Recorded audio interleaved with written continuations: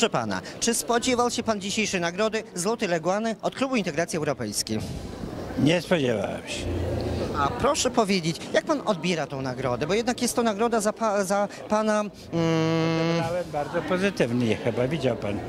jak najbardziej, bo jednak jest to wyjątkowa nagroda, którą między innymi przed panem otrzymał Patryk Wega. Dziękuję bardzo, że pan tak uważa, bo rzeczywiście zasłużyłem na tą nagrodę, ale nie tylko w jednej dziedzinie filmowej, tylko w wielu dziedzinach, w których pracowałem. Jakby pan miał e, podsumować swoją działalność filmową, e, pana największy sukces życiowy, to jest jaki? Proszę pana, ja niestety w filmie zbyt wiele nie działałem. Moim największym sukcesem są osiągnięcia w dziedzinie telewizji. A proszę, powie, proszę powiedzieć, w latach em, młodzieńczych, w młodości, czy pan spodziewał się, że pan zostanie reżyserem filmowym? Nie myślałem o tym. Nie myślałem.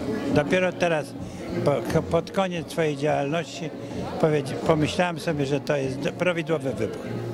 I na samo zakończenie proszę powiedzieć, e, jak, e, jakie ma pan plany zawodowe na najbliższy okres? Nie mam planów zawodowych zupełnie. Odpoczynek, relaks, czytanie, literatura, przyjemności, natura, spacer. A co chciałby pan życzyć młodym, początkującym reżyserom filmowym?